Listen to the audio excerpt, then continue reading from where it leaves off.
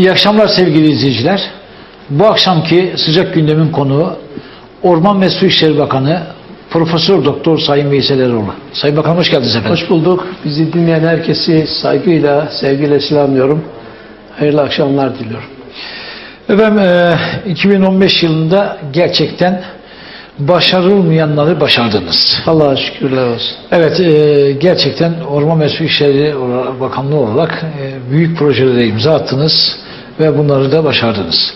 2016'da neler yapacağız? 2016'ya giriyoruz. 2016'da neler var? Hedefinizde büyük projeler. Büyük pro- evet. Şimdi Evet. önce Mehmet Bey, e, ben burada dinleyenlere e, bir müjde vermek istiyorum. Önümüzdeki çarşamba günü Allah nasip ederse 175 tane 23 Aralık e, çarşamba saat 11'de e, 175 tane dev tesisi e, bunlar büyük tesisleri Evet. Sayın Başbakanımız açıyor. Topluca Ankara Atatürk Kapalı Spor Salonu'nda. Yani bunların içinde e, barajlar, veletler, sulama tesisi, içme suyu tesisleri, ormancılık faaliyetleri, Evet. meteoroloji faaliyetleri, milli park faaliyetleri var. Evvela bunu bu, daveti size takdim ediyorum. Efendim çok teşekkür Hayırlı ederim. olsun. Hayırlı olsun Ee, bütün da memleketimize, milletimize. e, davetiyesi. Evet, evet. Yani bu, bu şöyle şu demek. Bakın geçmişte e, vatandaşlara şunu özellikle bizi dinleyen e, kardeşlerime şunu ifade etmek istiyorum. Bizden önce de e, kurumlar vardı. Ama biz bütün kurumları şaha kaldırdık. Misal olarak ben 2003 yılında DSİ Genel Müdür oldum. Hükümetimiz, AK Parti hükümeti iş başına geldiği zaman 2002 sonunda, 2003'te e, ben e, İstanbul'dan, İSKİ'den e, DSİ'ye geldiğim zaman baktım 3,5 yılda sadece 9 tesis açılmış. Evet. Şimdi biz yani yılda 3 tesis. Biz yılda e, 152-175 tesis kadar büyük tesisleri Sayın Başbakanımız açıyor. Evet. A- İnşallah önümüzdeki yılda bu vakti olmadı Sayın Cumhurbaşkanımız 92 tane baraj ve hidroelektrik santralde Sayın Cumhurbaşkanımız Recep Tayyip Erdoğan açacak. Hazır. Evet. Yani ama de, e, o kadar çok e, açılış merasim var ki e, vakit e, ayıramadılar. E, Sayın Başbakanımızdan özellikle önümüzdeki çarşamba günü söz aldık. Evet. İnşallah 175'i topluca açacağız. Açılış bu. E, ayrıca e, e, küçük tesisler dediğimiz yani birkaç trilyonluk, Evet. birkaç milyon TL'lik küçük tesislerde biz e, açıyoruz. Milletvekili, bölge milletvekilleri veya vali, valisiyle beraber illerde e, bu şekilde yılda yaklaşık sırf bakanlığımızda 300 tane tesis açıyoruz. Yılda 300 tesis. Evet. Yani 3 tesis nerede yılda geçmişti eski Türkiye'de. Şimdi 300, 300 tesis tesis. açıyoruz. E, bu, bu nasıl oluyor ki? E, biz vergileri artırmadık. Sadece nasıl ne yaptık biliyor musunuz? E, özellikle faizleri, faiz lobisinin hortumlarını kestik. Eskiden toplanan vergilerin Mehmet Bey yüzde 86'sı faize gidiyor. Evet. Dolayısıyla bunu, bunu bu e, hortumları kestik. Artık toplanan vergiler millete hizmet olarak barajlar, göletler, yol, e, demir yolları, havalanları yani her türlü hastaneler e, bu şekilde okullar gibi millete hizmet olarak dönüyor. Fark bu. Dolayısıyla biz e, önümüzdeki yıl içinde e, çok büyük bir proje hazırladık. Yani 2016 yıl- yılında Orman Su İşleri Bakanlığı Türkiye'nin her yerinde fırtına gibi esecek. Esasen biz bu yıl e, 2016'ya girmeden 2016, 2017, 2018, 2019 4-5 yıllık programı hazırladık Evet. Bütün bölgelerde bölgesel projeler Mehmet Bey hazırlandı. Mesela e, Bursa Mar- Marmara bölgesinde Marmara bölgesindeki bütün projeleri Marmara e, Gelişim Projesi adıyla bölgesel bir proje hazırladık. Marmara bölgesinde muazzam bir yatırım e, yapacağız. Bunun dışında mesela arkasından Trakya'ya geleyim. Trakya. İstanbul hariç Trakya'da e, Edirne, Kırklareli, Tekirdağ e, ve Gelibolu'da Trakya bölgesinde 10 mily- milyar TL'lik 10 katrilyonluk dev tesisleri hizmete alacağız. Evet. Ee, bunun dışında e, özellikle Ege bölgesinde daha önce gelişim projesi yoktu. Ege Gelişim Projesi adıyla İzmir'den Manisa'ya, Muğla'dan e, Denizli, efendim, e, Uşak, Afyonkarahisar'a, Kütahya varıncaya kadar 4547 tesis ve e, 30 e, 25 milyar TL harcayarak hangi ne zaman hangi yıl ne yapacağımızın bugün toplantı yaptım bakanlığımla Evet. dedim ki bu program 4-5 2015-2019 yıl sonuna kadar bitecek. Ama her yıl 2016, 2017, 18, 19'da ne yapacağımızı kim, neyi, ne zaman yapacak bu bizim vaadimiz. Bunları bitireceğiz. Muazzam bir kalkınma projesi. Keza e, Akdeniz bölgesi. Akdeniz bölgesi özellikle e, Isparta, Burdur, Antalya, efendim Mersin, e, Adana, e, Osmaniye, Kahramanmaraş, Hatay illerini kapsayan bu bölgede 3725 tesis açacağız. 37 milyar TL harcamayla destan yazacağız. Destan yani netice itibariyle. Bunlarda neler var bunlar içinde? Mes- Mesela ayrıca Orta Anadolu için Orta Anadolu bölgesi yani bu An- Ankara dahil olmak üzere Kayseri, Kayseri'den e, başlayan bütün bu bölge Çankırı, Çorum vesaire e, burada 3306 tesis açacağız ve e, 35 milyar TL harcamayla yazacağız. Yani bunlar şunu demek istiyorum. Bizim projelerimiz hazır. Hazır, Yani evet. bunları hazırladık. E, bunları vaatlerimizi, taahhütlerimizi yerine getirmek bizim boynumuzun borcudur. Çünkü biz sözün eri bir hükümetiz. Söz verdiğimiz zaman yaparız. Yapamayacağımızın şeyinde sözünü asla vermeyiz. Biz efendim diyoruz ki Veysel Bey sistematik çalışıyor. Veysel Bey bu e, Ben koydu mu e, prensip işleri sahibiyim. yapar. Evet. Evet. zamanla yarışıyor. Bizim bakanlığın sloganı mesela Orman Su İşleri Bakanlığı zamanla yarışıyor. Zamanla. Dakiklik vardır bizde. Temel atarken açılış Türkiye'de ilk defa. Temel Evet. atarken açılış tarih saatini Siz Sayın e, e, Cumhurbaşkanımız İstanbul Büyükşehir Belediye Başkanı iken biz başlattık. İlk defa o Düzdere Barajı'nda o zaman İstanbul'a su getiren Istıranca'daki barajlar şu gün, şu tarihte, şu saatte açılacak dedik. O tarihte de hakikaten açtık yani. O günden bu Yani aynen gidiyor. Aynen, aynen. Evet. Ee, tabii Batı Karadeniz'i gelişim projesi var.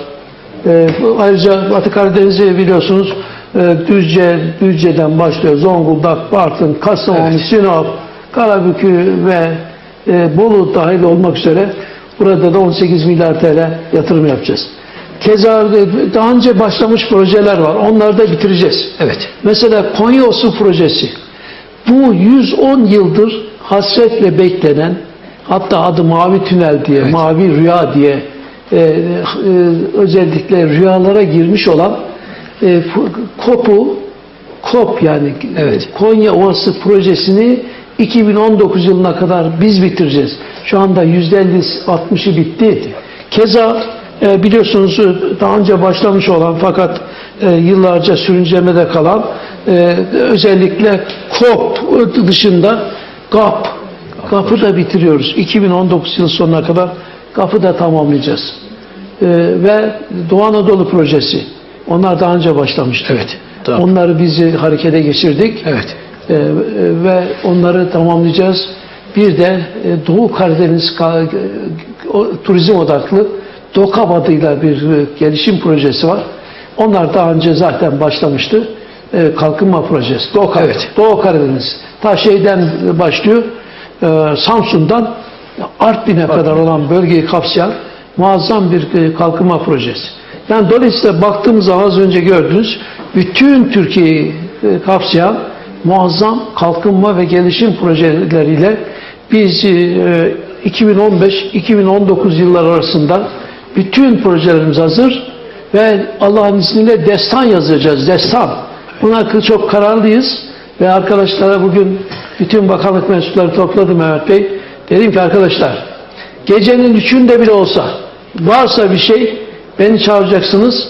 Ee, sizlerden daha çalışırsam beni ikaz edin diye söyledim. Hep bir, birlikte hatta söz e, verdik. Dedik ki e, e, gelecek nesillere çok daha büyük, çok daha güzel bir ülke bırakmak için ve milletin hizmetkarı olmak için hep birlikte mesai mefhumu tanımadan çalışmaya hazır mısın dediğinde bütün bakanlık mensupları tabi bölgeler de dahil. Çünkü bizde bir sistem var.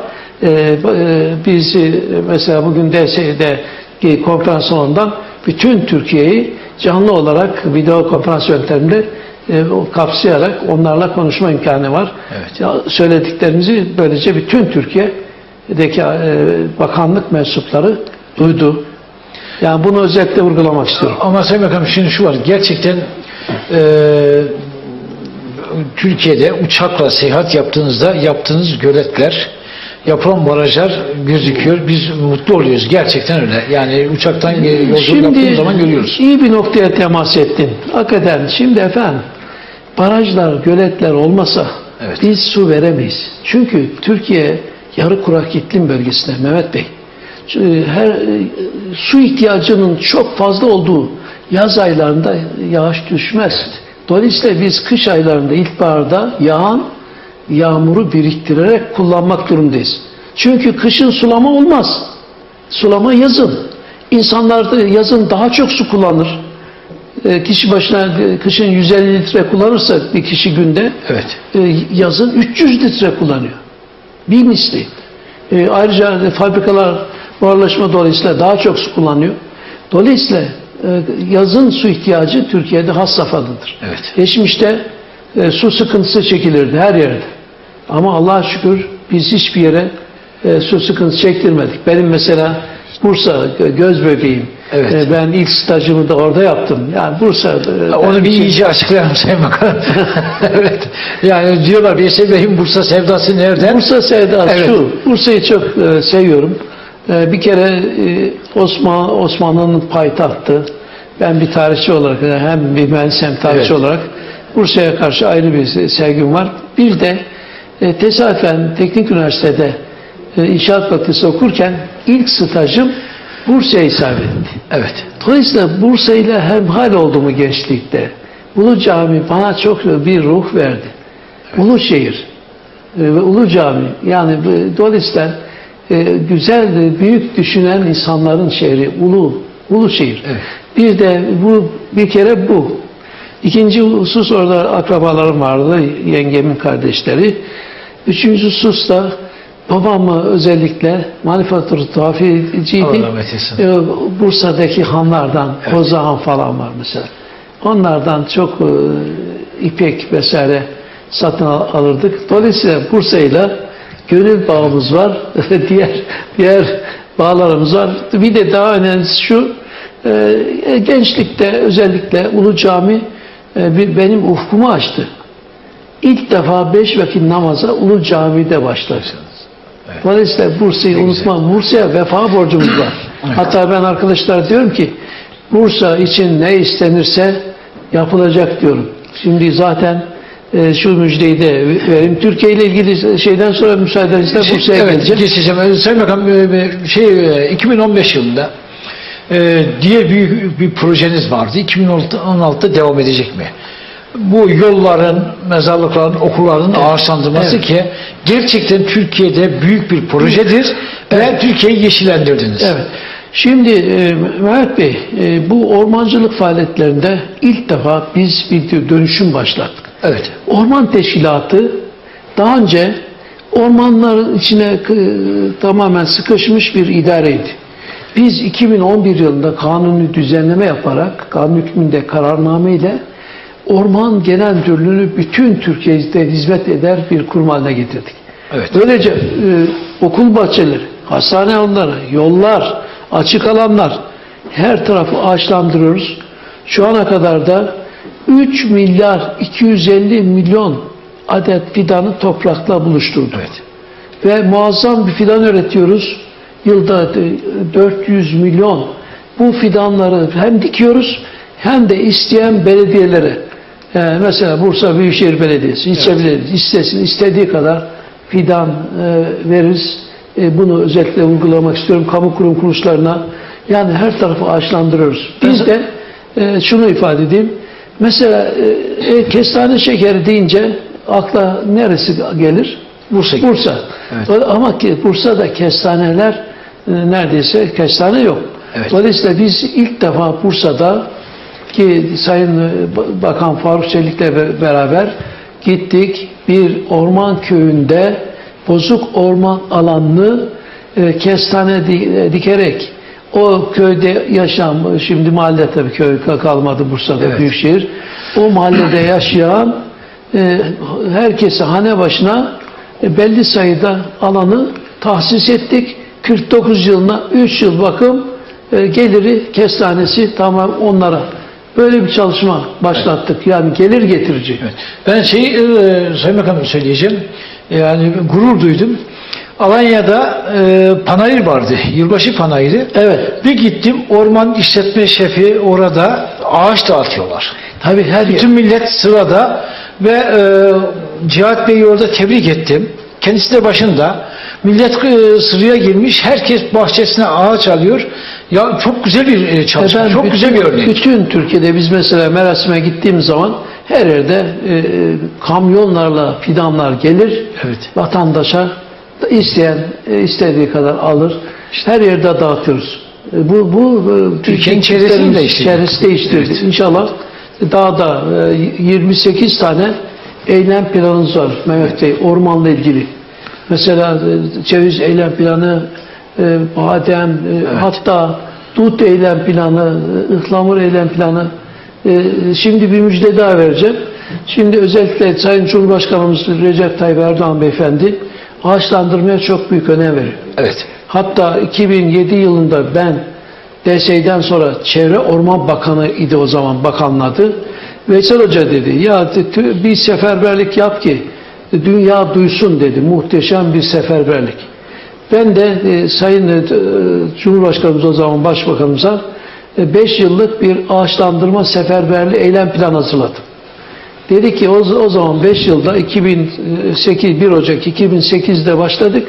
2012'ye kadar 5 yılda e, 2 milyar fidanı toprakla buluşturduk ve e, yaklaşık olarak Belçika'ya yakın bir alanda e, orman e, ye- yeni orman kurulması veya bozuk ormanın Evet.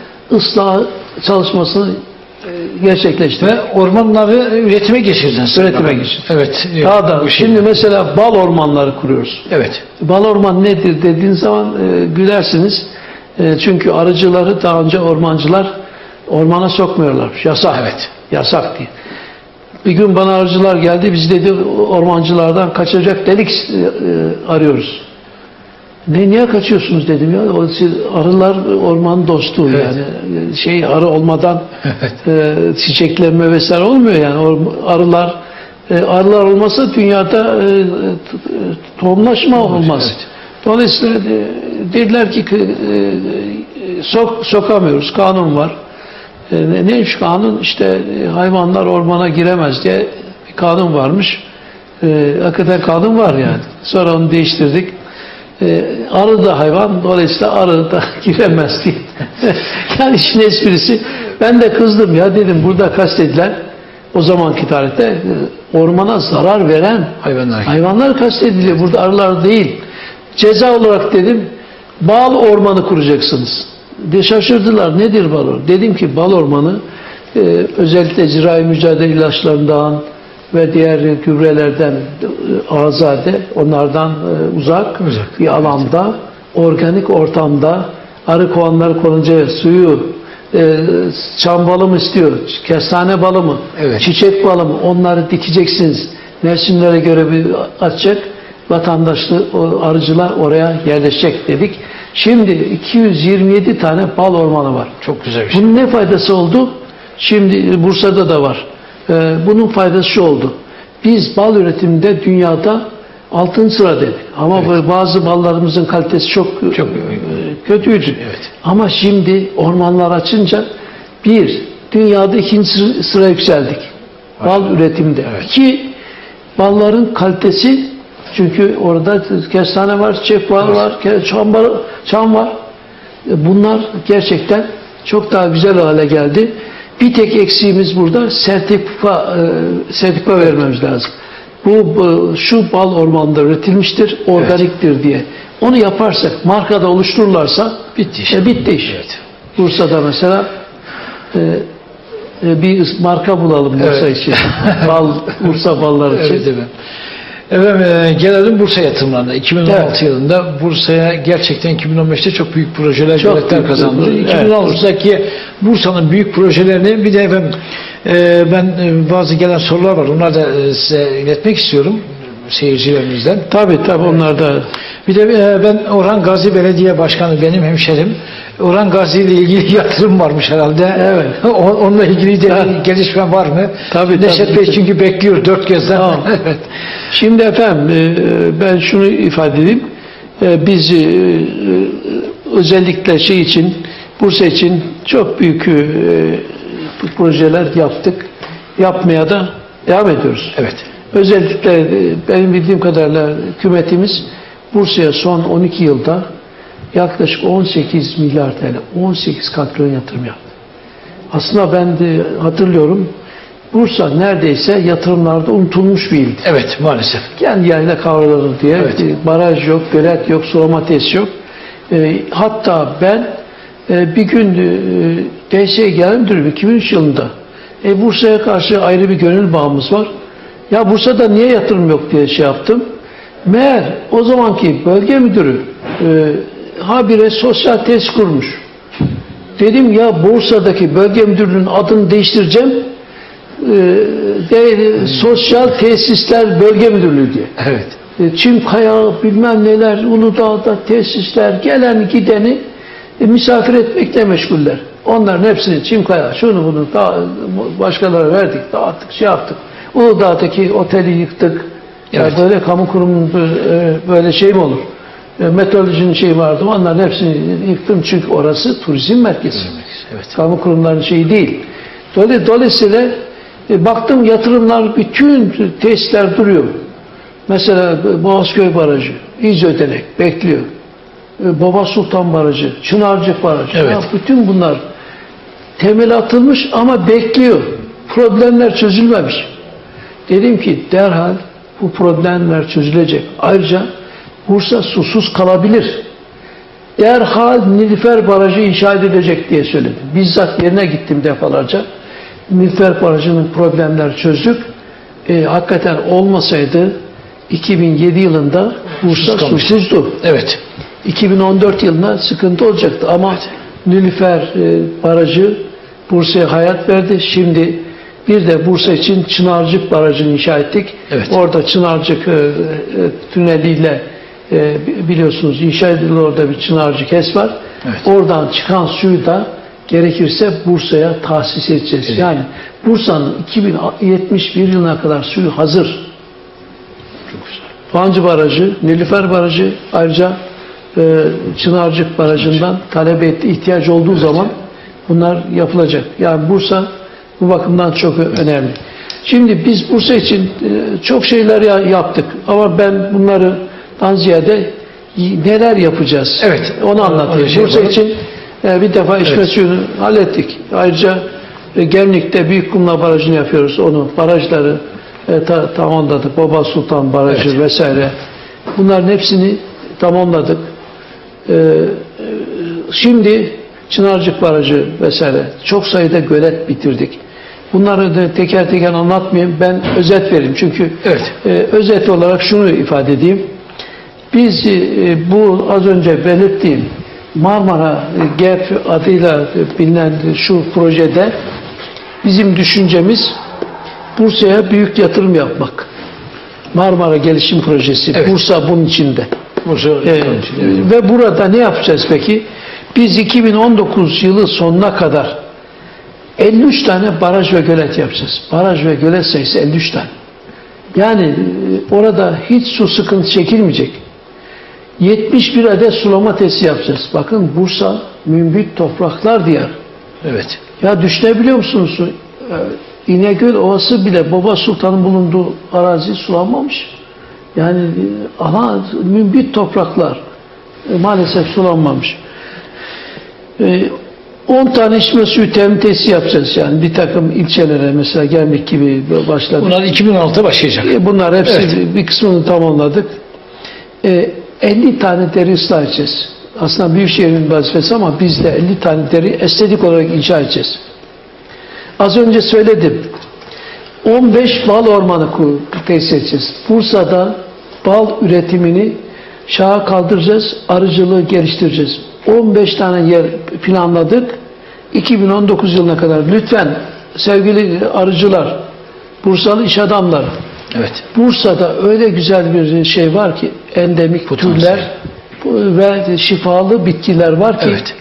orada e, niçin olmasın Bursa'nın bir de e, bir marka oluşturalım.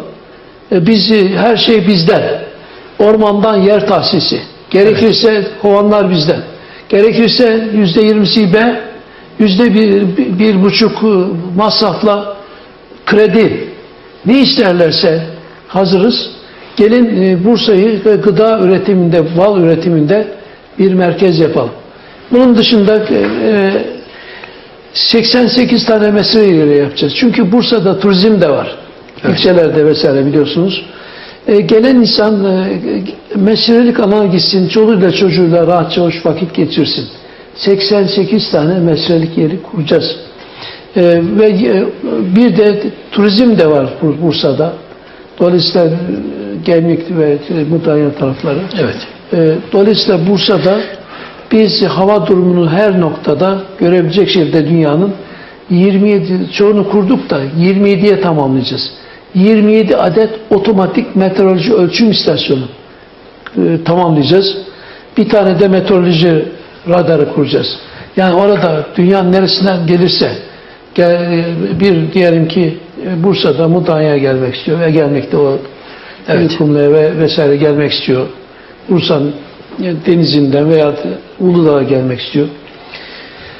Ta Japonya veya Amerika'dan gir tıklayacak hava durumu 3 günlük, bir haftalık hava durumunu orada hemen görecek. Müthiş bir sistem. Ve aynı zamanda çiftçiler için öne- önemli. Çiftçi e, tıkladığı zaman e, don problemi var mı? Meyve, meyve e, ve meyvecilik yapanlar bunu rahatça görecek. Yani biz bunu yapıyoruz. Peki bunun ne faydası var? Bu tesisler 2019 yılı sonuna kadar yaklaşık 740 bin dekar arazi modern sulama sistemiyle sulama açıyoruz. Bakın Mehmet Bey, Evet. 740 bin dekar.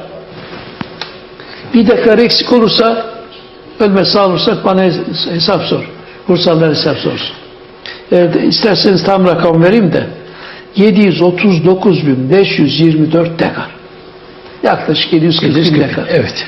Ve bunun, bunun ne faydası var?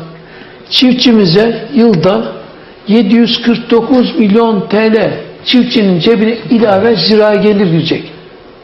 749 milyon her yıl ilave gelir. Yani e, sadece sanayide değil, turizmde değil, Değil. aynı zamanda Bursa e, Tarımda. tarımda da çünkü e, Mehmet Bey yakın bir gelecekte dünyada en önemli sektör gıda, Sektör güvenli gıda arzı olacaktır. Maalesef. Dolayısıyla biz e, bütün bu ovaları, mümbit toprakları modern sulama sistemiyle sulayacağız. Sulayacağız. Ne kadar gölet, baraj varsa hepsini yapacağız. E, ve de 2 milyon 400 bin kişiye ilave içme suyu temin edeceğiz. Evet. Yani ta 2071 yılına kadar. Hedef 2071 Bir. su Evet. temininde. Ee, ve de bir de e, aşağı yukarı bu yaptığımız testlerle 37 bin kişiye iş, iş sağlanacak. Çünkü üretim vesaire. Evet. Taşkınlardan koruyacağız. Ee, ayrıca bir de 983 bin dekar araçta ağaçlandırma, gelir getirici ağaçlandırma yapacağız. Ee, biliyorsunuz e, 2019 yılına kadar e, aşağı yukarı 5000 köyde 5000 veya mahalle şimdi Bursa'da 5000 gelir getirici tür ekip vatandaşa teslim edeceğiz. Bursa'da kestane, fıstık camı veya ceviz, badem bunlara ağırlık vereceğiz. Bilhassa kestane. Yani bozuk orman alanlarını tamamen vatandaşa gelir getirici olarak e, teslim ediyoruz. Hatta şöyle yapıyoruz. Bunu başladık. Mesela yabani zeytinler var. Bursa'nın Evet. e, bölgesinde de var. Var. E, vatandaşlar gelsin en yakın mahallede yaban zeytinleri aşılıyoruz. Kura çekiyoruz. Parsel parsel kaç tane zeytin ağacı düşüyorsa onlara teslim ediyoruz. Çok güzel. 40 tane zeytin ağacı olan aile geçim tercih ediyor. Tabii evet. Yani buna başladık. Yani buradan e, bütün e, kardeşlerimiz de duysun. Türkiye'de bozuk orman alanlarını veya orman içinde olan e, deliceleri, delice dediğimiz zeytin, Evet. e, yaban zeytinleri açlayıp vatandaşa teslim ediyoruz. Masrafı bize ait, geliri vatandaşa. Çünkü bizim anlayışımızda şu var. İnsanı yaşat ki devlet yaşasın. Devlet yaşasın, evet. Her şey insan için. Sayın Bakan e, Uludağ'a geçiyor muyuz? Ee, geçelim. Ee, bir de şey diyeyim. Bu gelir getirici tür önemli. Bizim hedefimiz 9000 dekar arazide 260 bin adet vatandaş için badem, ceviz, dut, salep gibi gelir getirici e, türlerde ağaçlandırma ve bir de trüf mantarı. Evet. Kilosu kaç lira biliyor musun? Şu, şu pahalı Türk mandalı. Onu onu da başladık. Yani vel, velhasıl e, biz e, inşallah e, bu yıllar altın yıllar olarak anılacak. Yani bütün eksikleri e, esnafımızın, çiftçimizin orada, e, insanımızın içme su ihtiyacından, sanayimizin su ihtiyacına varıncaya kadar, derelerin ıslahından, e, efendim ağaçlandırmaya ka- kadar, mesirlik alanlara ve e, tabii ki Uludağ'da muazzam bir dönüşüm yapıyoruz. Evet. Millet görüyor zaten. Efendim ben Uludağ'a geldi. Şimdi şöyle bir şeyler var. Ben e, se- seyirciden e, ve Evet. Bursa basından da bazı şeyler geldi. Şimdi e, diyorlar ki otopark sorunu çözülmedi. Oteller kapalı. Bir de mahkeme kararları. Bu Evet, plan şimdi şöyle, var. plan iptalleri, Evet. şimdi e, Çevre Bakanlığı'yla bir sorun var. Çevre Bakanlığı yok. Şimdi şöyle, biz hatta Sa- Sayın Bakan Faruk Çelik Bey Bakanımızla görüştük. Ayrıca biliyorsunuz Efkan Alı Bey ve Evet. Mehmet Mezunoğlu da sağ olsun büyük destek veriyor. E, Ben de ge- geçtiğimiz pazartesi Bakanlar Kurulu'nda Uludağ'da ilgili e, bölgenin planlaması konusunda bekleyen şeyi e, Sayın Bakan'ın eline not verdim. Bunu takip edelim bir an önce. Çünkü orada çok güzel bir planlama yapıyoruz. Evet. Uludağ dünyanın en zarif estetik yeri olacak. Hatta biz orada biliyorsunuz e, barakalar falan vardı bazı Evet. yerlerde. Evet. Yıktık. Orman köşkleri yapıyoruz. O kadar talep var ki. Orman köşkleri. Barakada kalıyorlardı. E, Veya çadırda.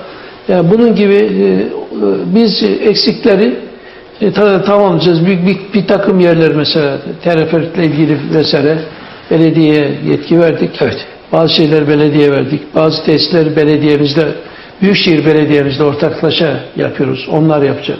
Yani neticede Uludağ'la ilgili çalışmalar devam ediyor. Ben de takip ediyorum. Evet. İnşallah ama zaman içinde bu çünkü bazı otellerin süresi var. Evet. Ee, estetik değil. Kaçak yapılar var. Onların çoğunu yıktırdık. Kamu kurumlarının pek çok tesislerini yıktık. Başta Bu plan iptalleri şey yaptı mı Sayın Bakan? Bey? İşi aksattı mı? e, biraz plan iptalleri maalesef. Çünkü ya, ne- ya bu güzel bir plan yapıyoruz yarışmayla. Birisi gidiyor şikayet ediyor. Alakası yok. Ama neticede e, idare mahkemesi e, yürütmeyi durdurma karar veriyor.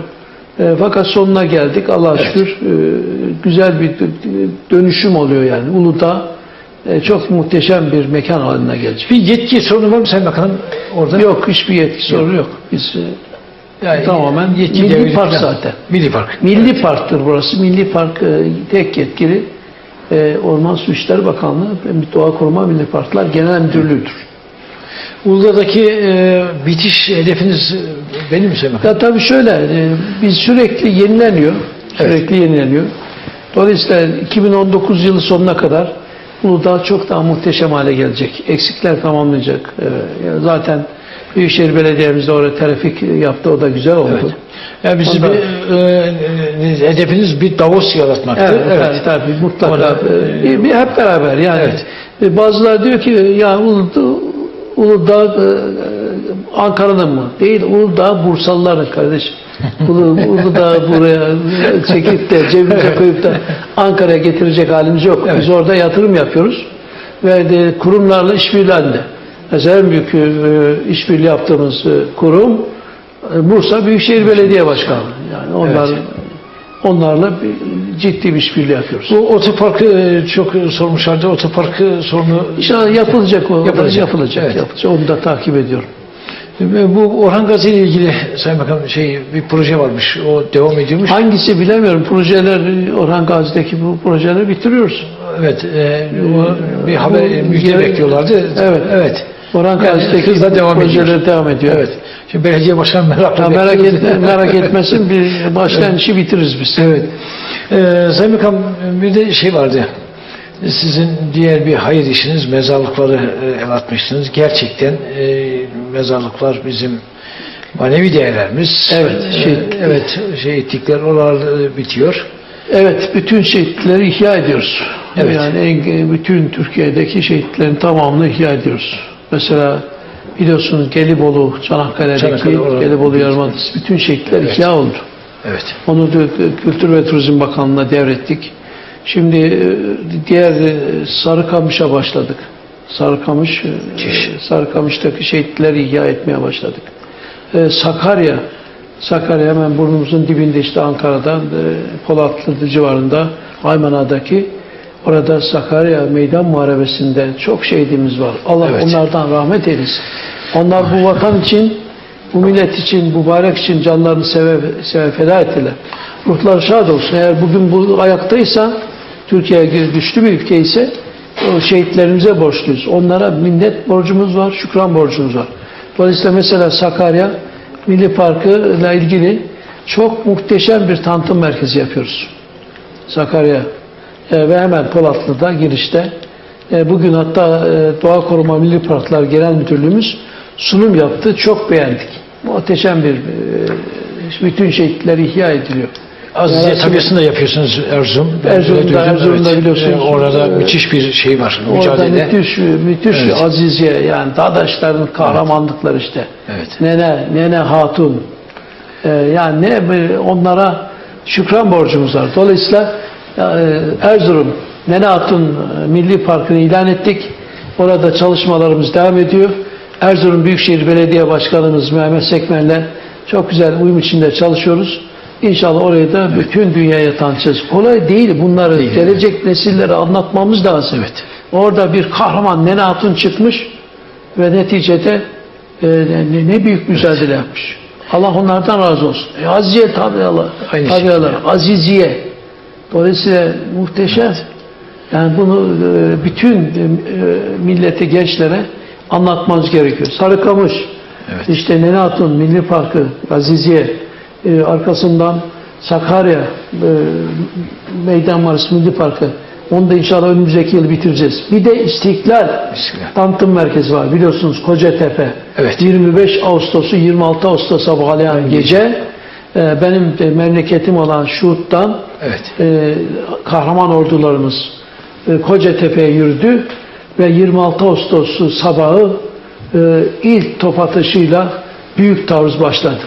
İşte orada e, kahraman ordumuzun e, bulunduğu yere bir istiklal tanıtım merkezi. O ilk e, Sincan Ovası'nda ordumuzun ilk indiği ve düşmanı e, denize doğru e. İzmir'e sürdüğü noktaya İstiklal Tanıtım Merkezi yapıyoruz. Muhteşem bir şey ve bu aynı zamanda Afyon'dan Antalya'ya giden yol üzerinde, İzmir'e giden yol üzerinde herkes gelip orada görebilecek. Ve de orada ne yapıyoruz biliyor musunuz? Hem Sakarya Meydan e, Muharebesi'nin bulunduğu e, Sakarya e, Tanıtım Merkezi'nde hem de İstiklal Tanıtım Merkezi'nde ta Orta Asya'dan bu 2071 yı- yılına kadar bütün şeyi zaman tünelinde herkes gelip Nefis onu bir görecek. Şey, evet. Sayın Orta Bakan, Asya'dan ta 2071'e Evet. orada Moaç'ı görecek. E, Malazgirt 1071 Malazgirt'i görecek. E, efendim Kanici'yi görecek. Yani ne, ne anlar İstiklal büyük taarruzu görecek. Türkiye'nin hem orman meselelerinde maşallah başarıyla getiriyorsunuz. Hem suyu hem de tarihini. Yani tarih Valla gerçekten ben, Sayın Bakan bu tarihe verdiğiniz öneme e, e, ben bir aynı zamanda belki çoğu bilmez ama ben e, sadece mühendis olarak bilirler. evet. Ben İstanbul Teknik Üniversitesi'nden mezun olduktan sonra bir de İstanbul Üniversitesi Edebiyat Fakültesi Tarih Bölümü bitirdim. O yüzden bir de işte şapkamızın bir yönünde tarih Evet. o bakımdan tarihe Ama çok güzel bir şey Bakan. Ama ben Nefis burada şey. şunu Evet. şey yapıyorum. Ee, hakikaten Genelkurmay Başkanlığımıza çok teşekkür ediyorum. Onlar da hem Çanakkale Destan Tanıtım Merkezi'nde hem şu anda e, e, Sarıkamış'ta e, Nene Hatun'da e, Afyonkarahisar'daki İstiklal Tanıtım Merkezi ve ve e, ve diğer bütün tanıtım merkezlerinde bize çok büyük destek veriyorlar. Oradaki özellikle e, panoramik resimlerde, e, tarihi vesikalarda o bakımdan burada ben e, diğer bütün kurumlara özellikle Genelkurmay Başkanlığımız İTÜ başkanlığında bu- bunlara bizle beraber çalışıyor. On- onlara çok teşekkür ediyorum yani. İnşallah çok daha güzel olacak. E, bir, bir merasimde inşallah e, İstiklal Tanıtım Merkezi e, önümüzdeki şeyde e, bitiyor inşallah. Evet. Haziran'da, 2016 Haziran'da. Sarıkamış'ta keşke ben bilseydim o muhteşem kümbetler yapıyoruz. Evet. Ee, Sarıkamış Destanı aynı zamanda Kafkas Cephesi Araştırma Merkezi. Orada muhteşem olacak. Ee, sağ, sağ olsun meşhur kalp cerrahı Profesör Bingül e, Sönmez Beyefendi Evet. bu bütün bilgileri toplamış. Onları da müzeye verecek. Burada ona da teşekkür ediyorum. Yani netice itibariyle inşallah gelecek nesillere Evet. ta Aziziye tabiasından Sarıkamış'tan e, İstiklal Sanatı Merkezi'ne Sakarya'ya kadar ve Çanakkale Destanı'na kadar her şeyi tarihimizi gençlere öğreteceğiz. Sayın Bakanım çok teşekkür ederiz efendim. Çok Ben sağ olun. teşekkür ederim. Gerçekten e, sizin başarılarınızı biz izliyoruz. Gurur duyuyoruz. Gerçekten Sağ olun. e, bakanlıktaki başarılarınız inşallah daim olsun diyelim. İnşallah milletimize yeni olmaya çalışacağız. evet. Yani Ben de özellikle e, her akşam gittiğim zaman ya bu bugün ben millet için ne yaptım? Gelecek nesiller için ne yaptım diye başımı yastığa gecenin ikisinde üçünde koyduğum zaman bir nefis muhasebesi yapıyorum.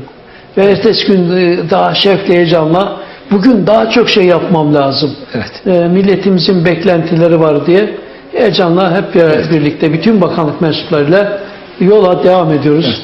Ben bu vesileyle bizi dinleyen herkesi saygıyla, sevgiyle selamlıyorum. Allah'ın rahmeti, bereketi hepsinin, hepimizin olsun. Su gibi aziz olsunlar efendim. Sayın Hayırlı Bakan, efendim çok teşekkür ederiz. Programımıza katıldınız. Sağ olun, sağ olun. Bizi gururlandırdınız. Çok çok sağ, olun. efendim. Ben Çok teşekkür teşekkürler. ediyorum. Sizlere saygıyla. Selamlıyorum. Evet sevgili izleyiciler bir sıcak gündemin sonuna geldik. Haftaya buluşmak üzere. Hoşça kalın, mutlu kalın.